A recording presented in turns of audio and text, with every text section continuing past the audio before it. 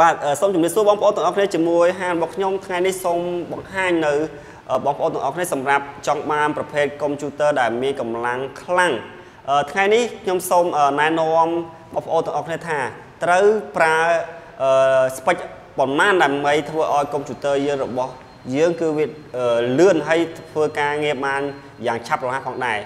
និយាយទៅខ្ញុំសូមបង្ហាញនៅស្ពេចមួយចំនួនតិចតិចសម្រាប់បងប្អូនគ្នាត្រូវការទិញហើយត្រូវការ ធ្វើយ៉ាងម៉េចឲ្យ laptop របស់យើងវាមានកម្លាំងខ្លាំងហើយអាចធ្វើការងារបាន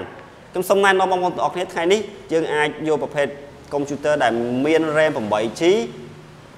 ចាប់ពី 8G រហូតដល់ 32G ក៏បាន hard disk គឺយើងត្រូវយកប្រភេទ SSD គឺ hard disk ជំនាន់ថ្មីសម្រាប់អ្នក design និងអ្នកកាត់តផងដែរអ្វីសំខាន់បងប្អូនទាំងអស់គ្នាគឺយើងត្រូវយកត្រឹម Core i5 ទៅរហូតទៅដល់ Core i7 Core i7 ឡើងទៅឬមួយក៏ ក្រប CPU របស់វាយើងអាចយកត្រឹម2ចុចឡើងទៅក៏បានយើងទៅ2ចុចហ្នឹងវាគឺវាខ្លាំងហើយក្រប CPU របស់វាហើយមួយទៀតសម្រាប់ laptop យើងត្រូវតែយកប្រភេទ screen full HD ត្រឹម18ឬមួយក៏18ឡើងទៅដល់ 4K 5K ក៏បានឬមួយក៏លក្ខណៈយើងយកមួយទៀតគឺ graphic តាក់ទងនឹង VGA របស់វាបងប្អូនទាំងអស់គ្នាគឺយើងកុំយក VGA ជាប់ព្រោះ VGA ជាប់វាសម្រាប់ម៉ាស៊ីនស្ដាងស្ដាងគឺវា បើយើងទៅកាត់តគឺអាចមានបញ្ហាអញ្ចឹងយកត្រឹម VGA ដាច់ប្រភេទ AMD និង Nvidia បានយើងយកទៅពីរហ្នឹងយើងអាចយកទៅប្រើ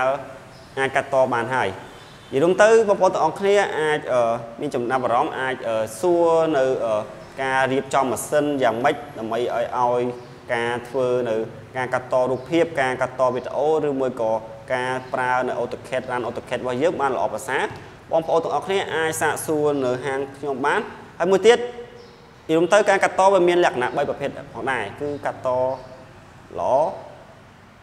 កាត់តល្អបង្គួរនិងមធ្យមវាមាន3ប្រភេទហ្នឹងប៉ុន្តែបងប្អូនទាំងអស់គ្នាអាចសាកសួរបានខ្ញុំនឹងរៀបចំតាមប្រភេទនីមួយៗឲ្យបងប្អូនទាំងអស់គ្នាអាចប្រើការងារនេះបានយ៉ាងរលូនប្រសើរផងដែរហើយកុំភ្លេចបងប្អូនទាំងអស់គ្នាអាចជួយគ្រប់គ្រងនៅហាងរបស់ខ្ញុំផងដែរហើយទីបញ្ចប់ហើយខ្ញុំសូមអរគុណបងប្អូនទាំងអស់គ្នាដែលបានគ្រប់គ្រងផងដែរ